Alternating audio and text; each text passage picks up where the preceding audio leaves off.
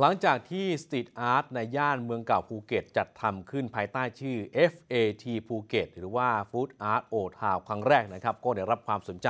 จากนักท่องเที่ยวเป็นอย่างมากครับทำให้นักศึกษามหาวิทยาลัยราชภัฏภูเก็ตนะครับรวมพื้นที่สื่อสาร street art season 2ครับ โดยรวบรวมศิลปินที่เป็นเยาวชนจังหวัดภูเก็ตกว่า 20 คน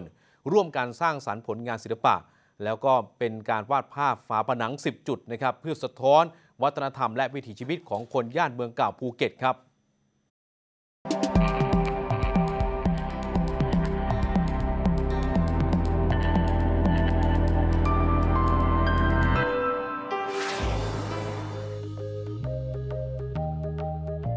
เด็กภูเก็ตร่วมสร้างสรรค์ผลงานศิลปะภาพวาดฝาผนัง สะท้อนความเป็นตัวตนของชุมชน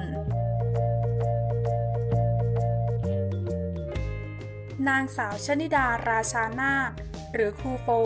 เจ้าของโฟสตูดิโอ สถาบันสอนศิลปะในจังหวัดภูเก็ต เปิดเผยว่า โครงการโซภูเก็ต เป็นโครงการเกี่ยวกับการวาดภาพผนังตึก โดยถ่ายทอดงานศิลปะเพื่อนำเสนอวัฒนธรรม วิถีชีวิต อาหารพื้นเมืองภูเก็ตดำเนินเรื่องโดยมีเด็ก 3 คน 2 เชื้อชาติ 1 ศาสนา โซภูเก็ตใน season 2 จะวาดภาพบนฝาผนังตามจุดต่างๆ ย่านเมืองเก่า 10 จุด เป็นแนวคิดความเป็นท้องถิ่น โดยใช้ศิลปินท้องถิ่น ทั้งเด็กที่เรียนจบแล้วกำลังศึกษาในระดับมหาวิทยาลัย รวมไปถึงน้องๆ มัธยมที่ยังเรียนอยู่ในสถาบันโฟสตูดิโอ ซึ่งเป็นเด็กภูเก็ตทั้งหมด ร่วมกันสร้างสรรค์ผลงาน concept ทั้งหมดแต่จะถูกวางรูปแบบโดยครูเองก็คือโฟเป็นคน กำหนดรูปแบบทั้งหมดว่าจะต้องเป็นอะไร แล้วก็นักเรียนที่ทำหน้าที่เป็นคนเพ้น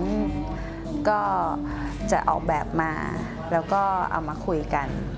ส่วนคนที่ทำก็คือเป็นนักเรียนทั้งทั้งรุ่นเก่าและรุ่นใหม่ของโฟสตูดิโอด้านเจ้าของร้านทวัตยนต์ย่านเมืองเก่ากล่าวว่า อนุญาตให้วาด และคิดว่าน่าจะเป็นจุดสนใจ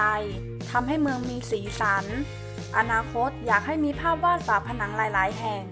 เพื่อสะท้อนความเป็นตัวตนของชุมชนย่านนั้น ให้เห็นถึงวัฒนธรรมที่มีความโดดเด่น ส่วนในอนาคตก็อยากจะให้มีหลาย ๆ แห่งที่สามารถจะสื่อหรือสะท้อนความเป็นตัวตนของบ้านหลังนั้น ชุมชนย่านนั้น หรือว่าวัฒนธรรมบางวัฒนธรรมใน ในเขตนั้นๆที่มีที่มีที่มีความโดดเด่น